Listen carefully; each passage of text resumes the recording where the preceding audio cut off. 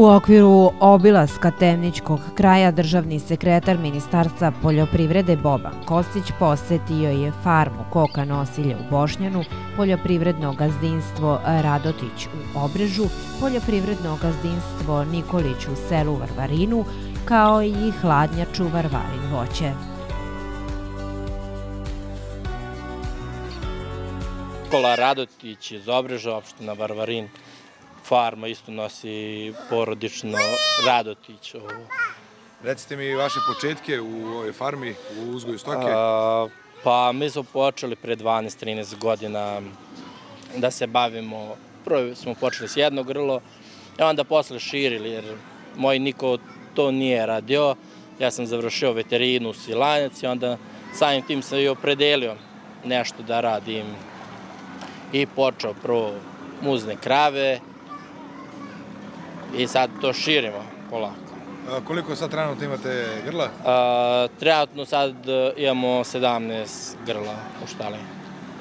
Koliko od prosjeku daju mleko ove krave? A, pa generalno, kad uzmemo celu laktaciju, znači tu su od 25 do 27 litra s tim. Kad su otele imaju više, posle smanjuju ovo, ali prosjek je neki od 25 do 27 litra. A rase ovih e, krava? Rase su a, e, simentalac, s tim što imamo par koji su malo promešani, melez, a, simentalac i holštin. A, kako hranite stok, odnosno koliko imate e, imanja obradivih za, za njihovu prihranu, da li... A, imamo 20 hektara, to radimo nešto ako zafali mi to dokupimo. Koristimo silažu, a, lucerku, to je što koristimo i koncentrat dokupljujemo. A subvencije neke od države za, za stoku? A, jedino od subvencija što smo za premiju i za priplod na krave, ovako nešto drugo nismo koristili.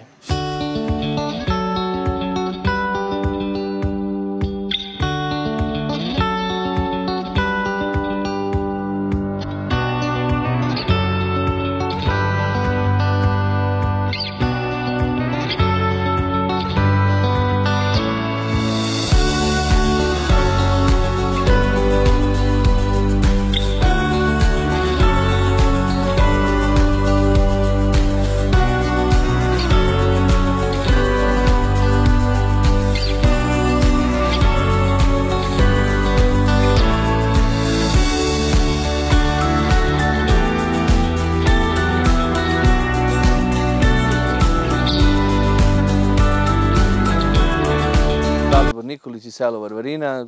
Naše gazdinstvo je jedno među prvima koje je registrovano ovdje u selo Varvarinu. Vi smo mnogočlana porodica koja se bavi e, raznovrsnom proizvodnjom. Proizvodnjom cveća, proizvodnjom jagoda, paprike i tovom junadi.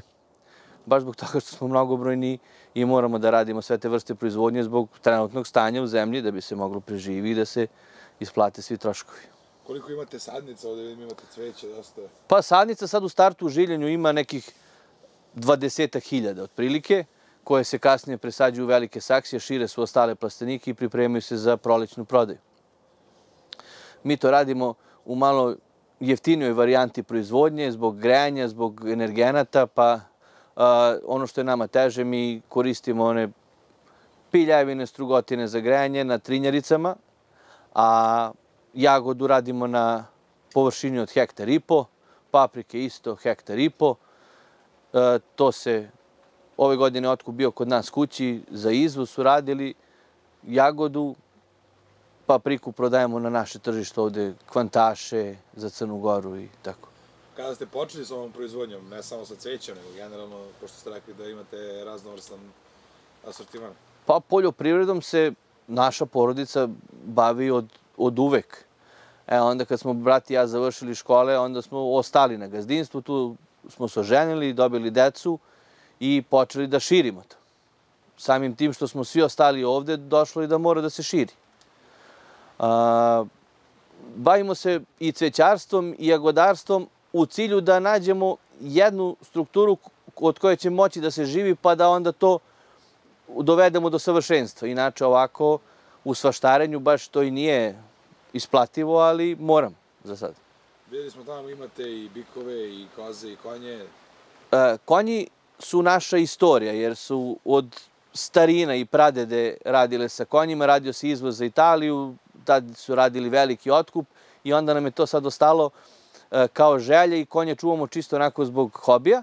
A, tom junadi se bavimo zadnje pet godine i e, sa tendencijom da to sad naglo proširimo.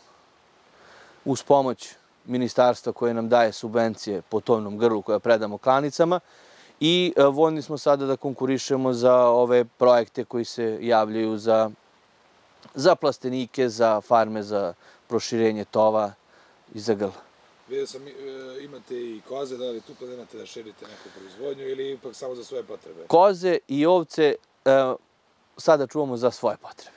Znači za mleko, za meso, ali za svoje potrebe. Mislim da nećemo moći da stignemo, sve to da odradimo i onda bit će veće štete nego vajde.